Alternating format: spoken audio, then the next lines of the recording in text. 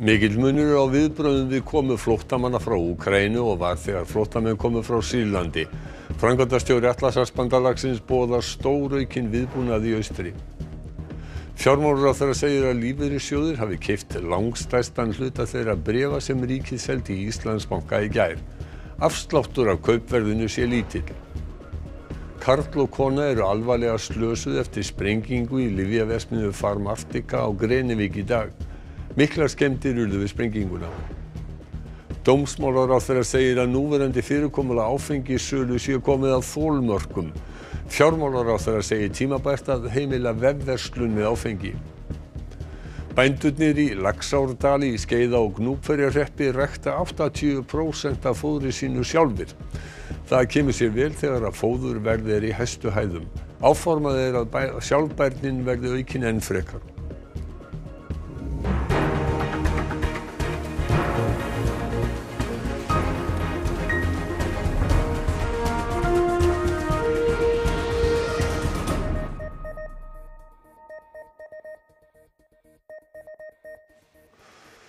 Gott kvöld. Yfir þrjár og hálf miljón hafa flúið frá Úkraínu eftir innrás rússa fyrir mánuði. Mikill munur á viðbröðum við komu flóttamanna frá Úkraínu og var þegar að flóttamenn komu frá Sýrlandi. Framkvæmdastjóri NATO gerir áð fyrir að bandalagi styrki verulega hernaðlega stöðu sína í austri á næstunni. Á spítalaginum í Kiev dvelji nú maðgirinn Olja og einn eins mánaða Olavass Móðurinn er talin að bjarga lífi svona síns með því að skíla honum þegar hús þeirra var sprengt í loft upp. En eins og sjá má á þessu myndum stendur þar varla steitni við steini. Дитина не постраждала, але оскільки мама її годує, то е, груди матері всі були поранені в скло. Ран не було, але все було скло там було. На лобі були значні глибокі рані множинні десь по тілу з головою, десь біля 25-25 десь е, поранень. Og vígvellinir eru víðar í Úkrænu. Людей почти нет в Харькове. Город перекрыт, и питание, воду, свет, все выключили, живых там почти нет. Не дают передать медикаменты родственникам, не дают питание детям, ничего не дают. Не дают. Убивают людей просто. Á öðrum stöðum er reynd að koma í veg fyrir eðileggingu. Miðborg Lviv var sett á heimsminjaskrá UNESCO árið 1998. Íbúar reyna nú að búa um sögufrægar byggingar þannig að minni líkur séu á eðileggingu, komið til sprengjuárosa. Fleiri en tvær miljónir eða meira en helmingur þeirra úkrænumanna sem flúið af heimili sín frá upphafi stríðsins hafa farið yfir til Póllands. Hópur pólskra sjálfbóðaliða stendur vaktina á flugvöllum til að taka á móti úkrænskum börnum sem koma til landsins. Jest wzruszenie, jest radość, jest e, śmiech. E, e, Dziewczynki małe, jak dostają te różne prezenciki od nas, to są drobne jakieś upominki, ale one są tak aż wręcz wzruszone, tak aż naprawdę. Rodzice też bardzo dziękują. Jest bardzo ogromna wdzięczność z ust tych rodziców, no i ta radość z oczu tych dzieci to jest najcenniejsze. Áður en rússar réðust inn í landi byggu um 44 miljónir í Úkrænu. Tæplega helmingur landsmanna býr nú við. We estimate that over 40% of the population is food insecure, among which 1.5 million require an emergency uh, response. Birta, þetta kom fram að af þessum þreim, þe- þeirri þreimur og hálf miljón sem hefur flúið úr landi þá er meirinn helmingu farið til Pólans. Já, þetta herma staðfesta fregnir frá e, flóttamannstofnun saminuð þjóðana. Þetta er auðvitað ótrúlega stort verkefni, auðvitað ekki síst fyrir þau sem er að flýja, en líka fyrir þau sem er að taka á móti öllu þessu fólki. E, eitt af því sem hefur vakið aðtekli er hversu vel Evrópuþjóður hafa tekið á móti fólki sem er að flýja frá Úkrænu, þennan undanfæðin mánuð sem að liðin er frá árásinni, einrásinni. E, það er, við sáum til dæmis í fréttinni hérna áðan sem að grímubúninga klættir hérna, pólverið er að taka á móti hérna, börnum sem er að koma frá Úkrænu. Þetta er ekki fyrsti flóttamannaströmmun sem Evrópa tekst á við á undanförnum árum en það er samt alveg ótrúlega mikill munur á viðbröðum flestra þjóða en til dæmis þegar það er borið saman við, við flóttamannaströmmun frá Sýrlandi sem stóð sem hæst 2015 og 2016. Eh, Ólöf Ragnarsdóttir, fréttamaður, hún rætti við sérfræðingi málefnum flóttamanna um einmitt þetta. Það viðtal verður í heilsinni kastljósu eftir en við skulum sjá smá brotur hér. don't let them in and those who are in sent home.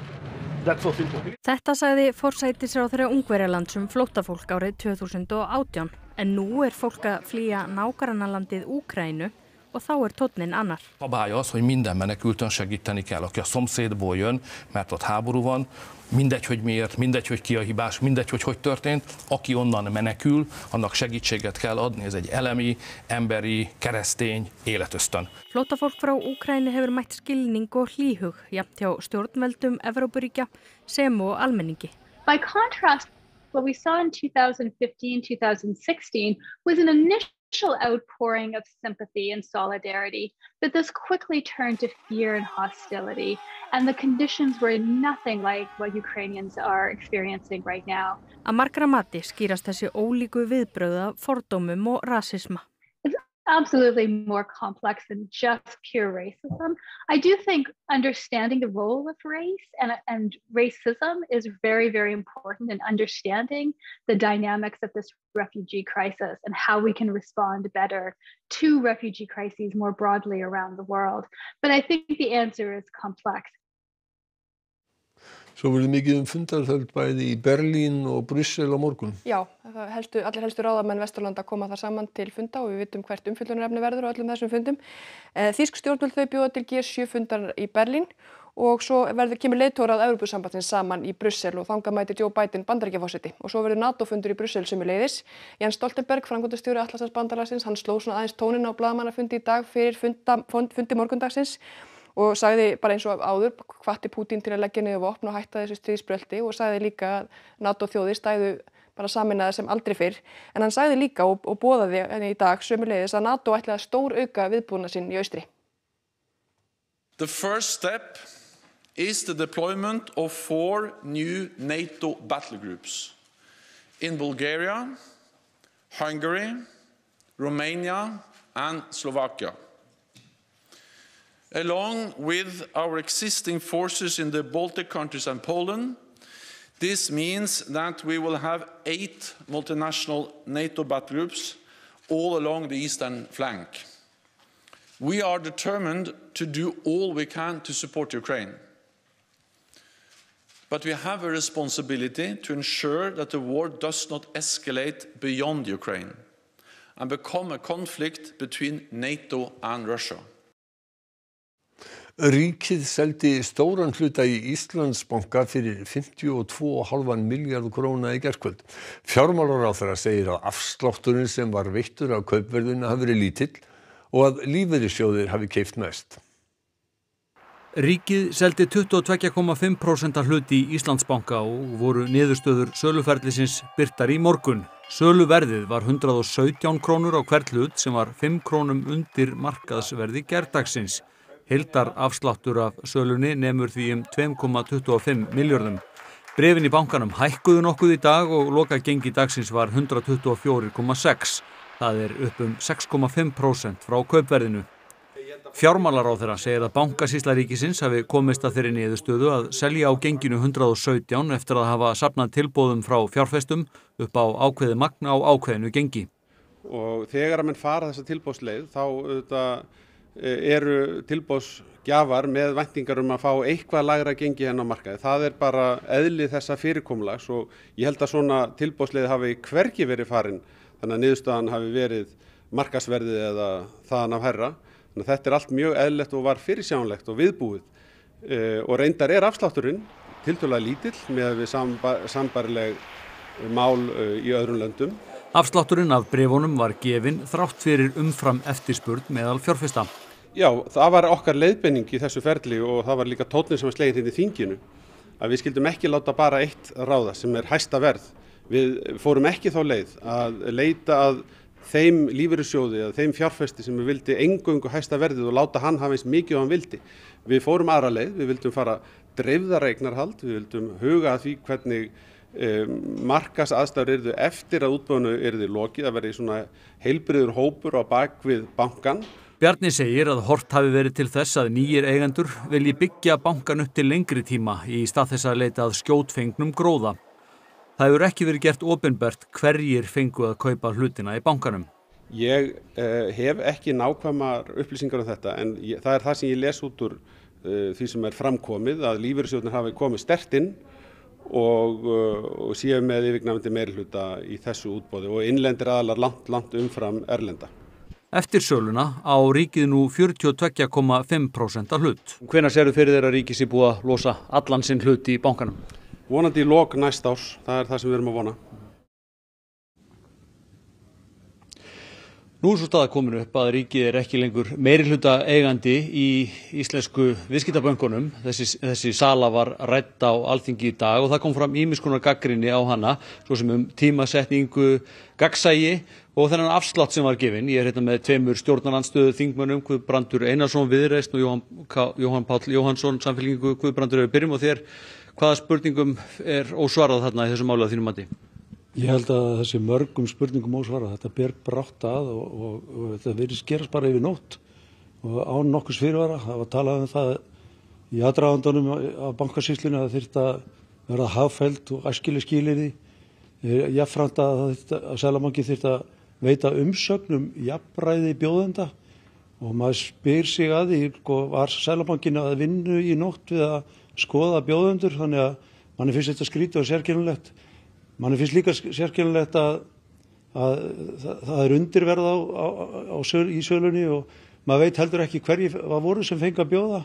Það, það, það var vita, það var, var umfram eftir spurn hvers vegna var það verið að selja undirverði? Og ef það var umfram eftir spurn hverjir voru þá handvaldir í þetta? Og þetta, þessum spurningum eru öllum ósvarað og, og krefja skýringa, almenningur á rétt á því. Jón Pall, hvernig horfur þetta á þér? Finnst þér vel að þessari sölu staðið? Ég held náttúrulega að það ríki bara ákveðið vantraust gagvart þeim ráð þeirra sem er að leiða þessa engavæðingu og kannski meðal annars vegna þess hvernig staðið var að frum útbóðinu í fyrra. Þar liggur það alveg fyrir að verðmæti í eigu almennings voru seld á undirverði. Ég menna sá hlutur sem ríkið, sá hlutur sem var seldur þá, hann er 30 miljardum hátt í það. Verðmeiri í dag heldur en hann var þegar, þegar þetta var seldt í miðjum heimsfaraldri og þegar það var gríðarleg óvissa um þróun eignamarkaða og, og, og efnaðasmála. Um, nú sjáum við einmitt að hérna, þrátt fyrir gríðarlega umfram eftirspurð þá er veittur þarna svolítið ríflegur afsláttur. Þetta þetta er 2 miljardar afsláttur með við dagsloka gengi í gær. Þetta er meir en 3 miljardar afsláttur með við dagsloka gengi núna í dag. Og þá náttúrulega bara vakna, vakna spurningar en það er kannski erfitt að meta þetta alveg með að við vitum ekki hverjir kaupendurnir eru þannig að eins og Guðbrandur fór hérna yfir þá rýmsa spurningar sem er ósvarað. Bara rétt í lókin, vilja alþingi fjalli nálar um þetta, bara östutt? Auðvitað þarf alþingi að fjalla nálar um þetta, það er bara, það liggur fyrir, við erum að, við erum að meðhandla almanna fíja og við þurfum að fara vel með það og almenningur á rétt á því að við gerum það og, og, og vöndum okkur við það sem við erum að gera hérna.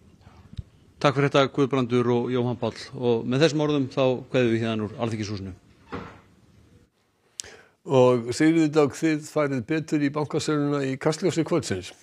Já, það verast margir furða sig á þessari sölu og um 20% hlut ríkisins og hvarta margir eins og við heyrum hérna undan, sko, undan skorti á gagsægi og upplýsingagjöf við fáum Þórðsna Júliusson, Ritstjóra Kjarnans og Óla Björn Károsson, Þingmann Sjálfstæðsflokksins til okkar til þess að varpa vonandi einhverju ljósi á máli. Svo heyrum við nánari í sérfræðingum flótamannamál sem rætt var við fyrir fréttatímanum og loks kynnustu tónlistarfólki sem tilnæmt er sem bjartasta vonin á íslensku tónlistavæljunum. Já, takk fyrir það Sigriður Dögg. Guðrún Helgadóttir, reytöfundur, fyrirverandi alþingismæður og fórseti saminast alþingis er látin 86 árað aldri. Guðrún Helgadóttir var ákala vinsæl barnabókahöfundur og skrifaði tíu bóka þeirra á meðal bækurnar um tvíburabræðurna Jón Ott og Jón Bjarnar. Bækurnar skrifaði Guðrún á afar vandaðri íslensku og leik sér kjarnana málinu. Ímis orðu bókum hennar voru hversmas vörum en svo úlingaveiki. Þá fekk erindrekin Amma tvíburana viðunöfnið Amma dreki, dreiða starfseiti hennar. Gerð var bíómyndum þessar sögufrægu personur árið 1981. Helsustu okkar, er Anna Jóna, hún er með úlingaveikina. Hún er alltaf með henn að simpa, henni klikkaðir.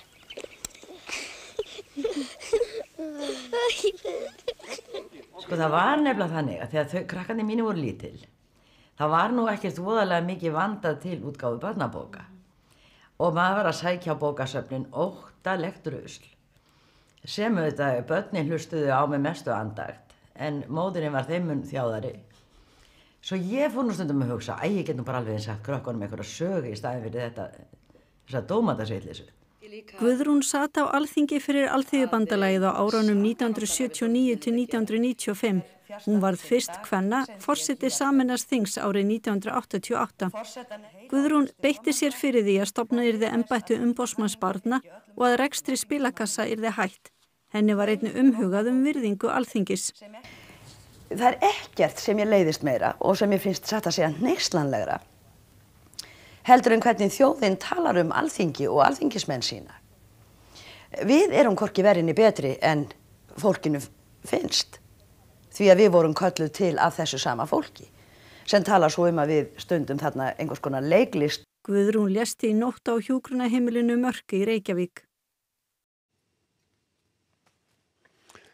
Þrýr voru fluttir á sjúkrahús eftir sprengingu í Livia Vesmiðu farm Artika á Greinivík í dag. Slökkuliðinni á Greinivík barst tilkynningu um sprenginguna þegar klukkan var 12 mínúti gengin í fjögur. Slökkuliðið á Akureyri var kallað til aðstóðar og fjölmenntlið slökkuliðs og lögreglu tók þátt í aðgerðum. Tveir starfsmenn Karl og Kona eru alvarlega slösuðu með mikil brunasár. Þau voru flutt til Reykjavíkur með sjúkraflugi. Þriðji starfsmæðurinn var fluttur á sjúkrahús með reykeitrun. Fimm starfsmenn til viðbótar voru í húsinu þegar þetta gerðist og var þeim veitt áfallahjálp. Það var eldsprengingi í einu herbyggi hérna í liðafyrirtækni okkur, varmartega. Bara staðbundin eldur sem, sem að, hérna, sloknaði mjög fljótt sko. Þannig að við, það var engin eldur í sjálf og sér. Það sá lítið eldur sem við slöktum. Hvernig var umhóðs eftir þessu sprengingu? Það er rosalega mikla skemmtir að vinni sko. Mjög mikla sko. Svo bara eftir að meta það svona endalega hvað þessu mikla skemmtir það eru sko. Dómsmálaráðherra vinnur að frumvarpi um breytingu á áfengislögum. Erfitt sé að viðhalda einokun átífaferra og sölu áf áfengis. Fjármálaráðherra segir tímabært að heimila vefverslun með áfengi. Áfengis- og tópasverslun ríkisins stemdi tveimu netverslunum með áfengi, Bjórlandi og Sandi fyrir hérastóm og krafðist þess að áfengisala þeirra eruði stöðvuð. Hérastómi Reykjavíkur vísaði málunu frá dóma á förstudag og taldi átífafr ekki hafa eftirlit skildu með því að fari væri að lögum um engaleifi ríkisfyrirtækisins og sölu áfengis. ÁTFR hefur ákveðið að kæra niðurstu hérastóms til landsréttar. Það er reglur sem að hér gilda eru undan þá að frá EES samningum. Það eru undan þá eru byggðar á líðhersulsjónamiðum. Á sama tíma og, og það er þá til að takmarka aðgang af þessum revöru. Á sama tíma eru við að fjölga útsölustöðum um all land. Við erum að lengja opnunartíma verslana frumvarpi sem ég mun leggja fram núna um heimild fyrir þessi litlu brugghúsringin í kringu landið að geta selt yfir borðið.